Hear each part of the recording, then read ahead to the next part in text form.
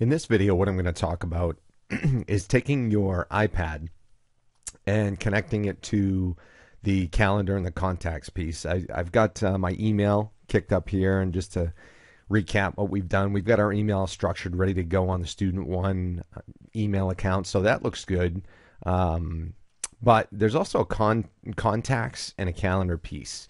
Let me hit the calendar here real quick, and you'll notice the calendar has no events in it whatsoever. And this is the iPad specific calendar on here. Um, basically, what we're going to do is we're going to sync this iPad with the calendar and the contacts piece from the Google piece that we had set up. Email's all good to go. Here's contacts right here. You see that there are no contacts in this book whatsoever. So we actually have to go to a website through the iPad. And before I do that, what I'm going to do is let me just arrange this. What I'm going to do is log into the email uh, through the Gmail function, and I just kind of want to show you the calendars and the contacts from that particular piece. So let me go ahead and log in here, Gmail. Get to the Gmail account, then I'm going to log in as that student one account that I've been using right along. And I'm going to sign into this account. You'll see the same emails that are here that I, I just pulled up in my iPad as well. So I'm going to hit calendars, and you'll notice there's my shared uh, class calendar from the multimedia shared calendar. And again, I'm I'm looking at this from a student perspective, so all I have is that shared shared class time from the multimedia calendar. I'm going to go ahead and um, as well. I'm going to add a new event but I'm going to add a new event in my own student one calendar. So let's go ahead. We're going to add, uh, let's add study hall in. So I type that in and notice I've got no other calendars to pick from. So it automatically goes to my student one calendar, which is in blue now. We all know that's the wrong time for study hall. We got to move it up to 7:30. So I'm showing you right now basically how to change an event uh, time just by dragging it. And we also know it's not an hour long; it's two hours long. So I grab on the double handle drag that down over two hours. So great. I got my study hall in there, my study hall event on Thursday night. I've got my shared multimedia calendar on Wednesday, which I have no control over the events on that one. I can just see kind of what's going on there. And uh, we're going to uh, kick out of this real quick. And I'm going to take it take it back to my iPad. Get back into my iPad. Now what I'm going to do is go into the calendar on my iPad. Give it a quick second. It's going to sync up. But you'll notice the study hall that I just put in is now in my iPad calendar. But if I look back on the Wednesday, my multimedia class is not. So there's something going on here. So any event that I make on my Google side on my own calendar automatically syncs up with my iPad calendar, no problem. There is a way to get all of your calendars synced up at once. So I'm going to go into Safari and I'm going to go to a website and I'm going to type it in m.google.com. And let me go ahead and type that in. And again, this is on Safari on my iPad. So I'm using my web browser on my iPad. And Google lays out a bunch of tools that are based on mobile mobile pieces.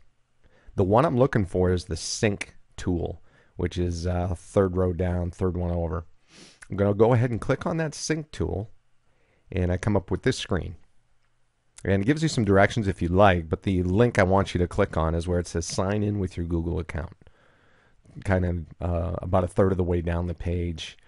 Um, this is this little application is going to allow you to enter your Google account through your app, your iPad, and decide what calendars you want to sync up. So I've unfortunately, I got to log in again. So I'm going to log in student one, and I'm going to go ahead and click the sign in button.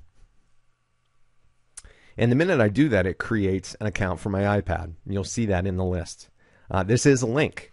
So you go ahead and click on the iPad, and here are the choices that you get. You got you got some mail enables up above, then you get your own calendar, which is automatically synced, so you don't have to worry about it. But if you look down below under shared calendars, you've got the option to select which shared calendars you want to sync your iPad with.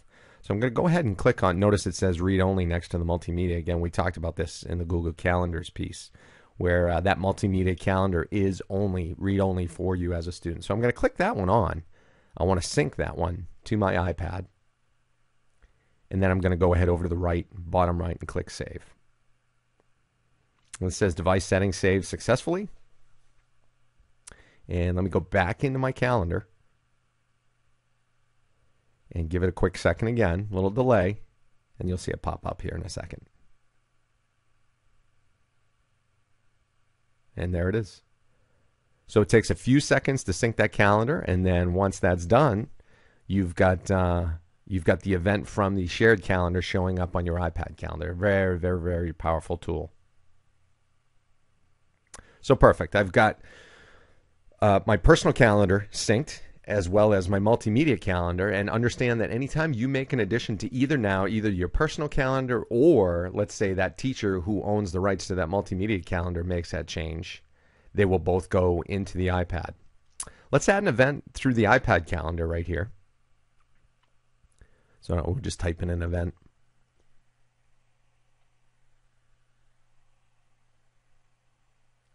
Put in baseball game here. And we'll put in a date. Actually, that looks pretty good.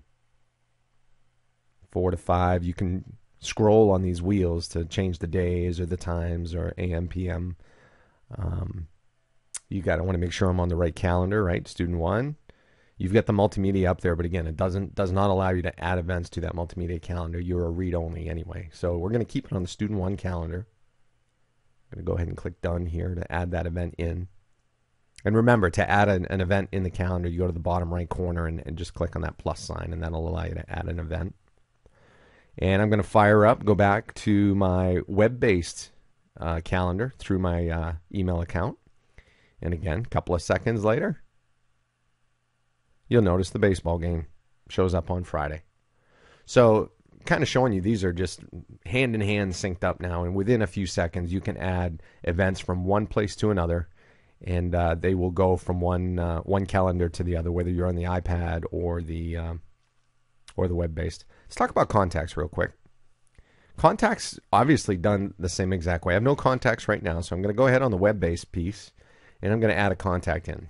We'll put in Joe Smith. Everybody knows Joe Smith, right? So I'll just put his name in here and I'll click save. So now I have one contact, Joe Smith. And if everything works out well, I'm going to minimize the web based piece. And now when I go back to my iPad, let's get out of the calendar here. I'll hit the home button. And then I'm going to go into contacts. And you'll notice Joe Smith is automatically there.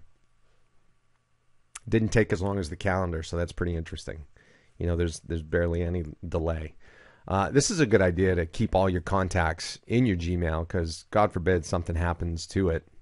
Let's add somebody from the iPad world here. So I'll add Fred Flintstone into my iPad contacts. And I immediately go back to my web, and there's Fred Flintstone on my web based contacts list. Contacts are important to to keep note of. I mentioned it earlier. Let's say you step on your iPad or I don't know, somehow you end up throwing it out the window in frustration. You lose your iPad. If you have contacts that are based on the iPad itself, you've lost all your contacts. If you get used to syncing this thing and this idea of syncing these pieces together, you will always have your contacts ready. If you have an iPhone, which I know most of you do, and you get contacts on your iPhone, if they're based on Google, you have access to your contacts whether you're on your iPhone, your iPad, or Google. So it's this is a great system to use. You'll never lose anything.